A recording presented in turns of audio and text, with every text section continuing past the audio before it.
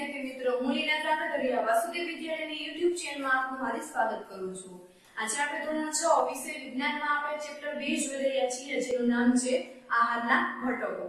હવે આપણે એમાં આગળના લેક્ચરમાં આપણે જોઈ ગયા કે આપણા ખોરાકના જે મુખ્ય ઘટકો છે, બરાબર? એ એના વિશેની આપણે ત્યાં સમજૂતી મેળવી લીધી છે, એના વિશે આપણે જોઈ ગયા છે, માહિતી મેળવી લીધી છે. હવે આપણે આજે અહીંયા આપણા ખોરાકમાં આ પાંચ મુખ્ય જે પોષક દ્રવ્યો છે એ સિવાયના આપણા ખોરાકમાં જે ઘટકો રહેલા છે, એ છે, એક તો એ પાચક રેસાઓ અને બીજું છે પાણી. બરાબર કે આ પાંચ મુખ્ય પોષક દ્રવ્યો સિવાયના આ પણ આપણા ખોરાકનો એક ભાગ છે. હવે આ જે પાચક રેસાઓ છે, એનું પણ આપણા ખોરાકમાં કાંઈક એનું કામ છે કાંઈક એનું કાર્ય છે, માત્ર એ નકામું રહેતું નથી. તો હવે એ જે પાચક રેસાઓ છે, એનું ત્યાં ખોરાકમાં શું કામ છે, એ આપણે જોઈએ અને આ જે પાંચ રેસાઓ છે, એ આપણા શરીર માટે શા માટે ઉપયોગી છે? તો પાચક રેસા અને પાણી, એ પોષક દ્રવ્ય ઉપરાંત પાચક રેસા તથા પાણીની પણ શરીરને જરૂર રહે છે. માત્ર એવું નથી કે આપણે જે પાંચ મુખ્ય પોષક દ્રવ્ય જોયા છે, એની શરીરને જરૂરિયાત છે, એની શરીરમાં હાજરી જરૂરી છે એવું નથી. બરાબર? આ સિવાયના આપણા શરીરને પોષક દ્રવ્યોની હાજરી તો જરૂરી છે પણ એની સાથે સાથે આપણા શરીરને પાણી તેમજ પાચક રેસાઓની પણ હાજરી જરૂરી છે, કેમ કે પાચન રેસા એટલા માટે જરૂરી છે કે આપણે જે ખોરાક લઈએ છીએ, એ ખોરાકનું યોગ્ય રીતે પાચન થાય તો શરીરને પોષક દ્રવ્યો મળે છે. જો શરીરનું યોગ્ય રીતે પાચન ન થાય તો એમાં રહેલા જે પોષક દ્રવ્યો છે શરીરને મળતા નથી. માટે આ જે કંઈ પણ આપણે ખોરાક લઈએ છીએ, એનું ત્યાં પાચન થાય. એના માટે આપણા જે તે ખોરાકમાં પાચન રેસાઓની પણ હાજરી જરૂરી છે. એ પાચક રેસા વૃક્ષાસના નામે ઓળખાય છે. આપણે જેને પાચક રેસા કહીએ છીએ, એનું બીજું નામ શું છે તો કે વૃક્ષાંશ બરાબર? આ એકી વાક્યના પ્રશ્નમાં વિકલ્પોમાં પૂછાઈ શકે છે કે જે પાચક રેસાઓ છે, એને બીજા કયા નામે ઓળખવામાં આવે છે તો કે એને બીજા વૃક્ષાંશના નામથી ઓળખવામાં આવે છે.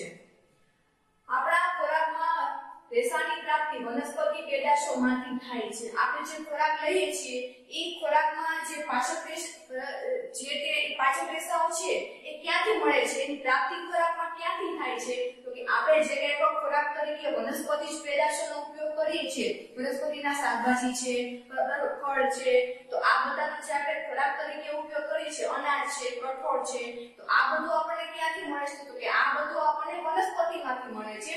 એટલે કે આ બધી વનસ્પતિ જ પેદાશો છે. તો આપણે જે ખોરાક ખાઈએ છીએ, એ ખોરાક એ ખોરાકમાં પાચક રેસા ક્યાંથી આવે છે? જે પણ વનસ્પતિ જ પેદાશો છે, એમાં જ્યારે કોઈ પણ એ આપણે જે ખોરાક ખાઈએ છીએ, એમાં એ જે તે વનસ્પતિ જ પેદાશોનો ઉપયોગ કરવામાં આવે છે, ત્યારે શરીરને ત્યાં જરૂરી પ્રમાણમાં એ જે તે પાચન રેસાઓ મળી રહે છે.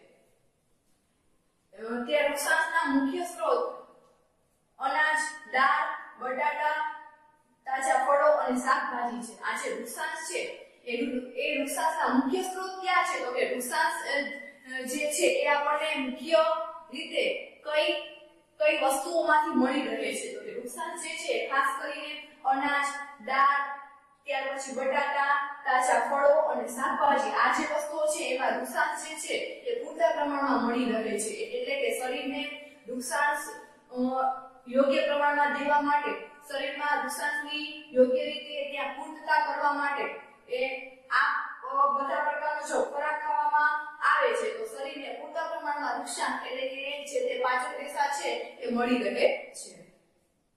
નુકસાન શરીરને પોષક દ્રવ્ય પૂરા પાડતા નથી, છતાં પણ તે ભોજનનો આવશ્યક ઘટક છે. શું કે છે? નુકસાન જે છે, આ જે પાચક રેસાઓ છે, એ આપણા શરીરને પોષક દ્રવ્યો નથી આપતા.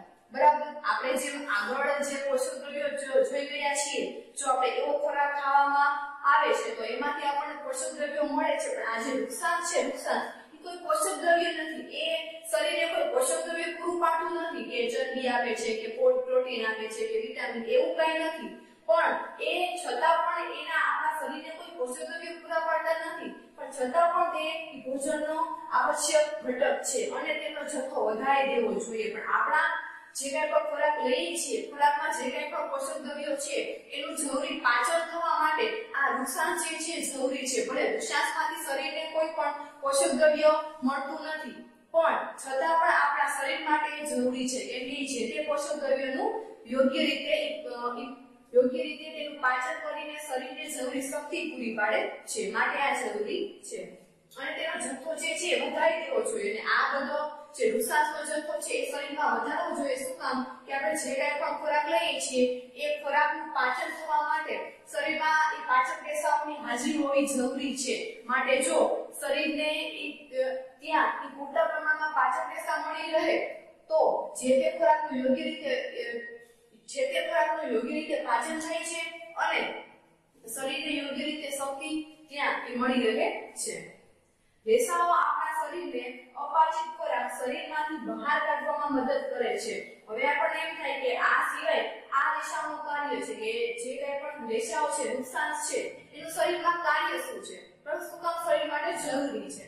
તો કે રેસાઓનું કાર્ય શું છે? તો કે આપણા શરીરને અપાચિત ખોરાક શરીરમાંથી બહાર કાઢવામાં મદદ કરે છે કે આપણે જે કંઈ પણ ખોરાક લઈએ છીએ, એ સંપૂર્ણ ખોરાકનું પાચન થાય છે એવું નથી. એમાંથી અમુક ખોરાક એવો પણ હોય છે કે જેનું પાચન શરીર દ્વારા થતું નથી. એ જે એ જે અપાચિત ખોરાક છે તેનો શરીરમાંથી નિકાલ કરવો જરૂરી બને છે જે ખોરાકનું પાચન થઈ જાય છે એ ખોરાકમાંથી તો શક્તિ મુક્ત થઈને શરીરને મળી જાય છે પણ જે ખોરાકનું પાચન નથી થતું એટલે કે જે ખોરાક અપાચિત રહી જાય છે. તેનું શું કરવું હોય તો તેને શરીરમાંથી બહાર કાઢવો, તેનો નિકાલ કરવો જરૂરી બને છે. અને આ જે નિકાલ કરવાનું કામ કોણ કરે છે? તો એ જે તે પાચક રેસાઓ કરે છે કે આપણા શરીરમાં પાચક રેસાઓ આટલા માટે જરૂરી છે કે જે કોઈ પણ અપાચિત ખોરાક છે તેને શરીરમાંથી બહાર કાઢવામાં કોણ મદદ કરે છે? તો કે પાચક રેસાઓ કરે છે. એટલે કે એ ત્યાં અપાચિત ખોરાકનો નિકાલ કરવાનું કામ તો કે એ પાછળ રેસાઓ એટલે કે નુકસાન કરે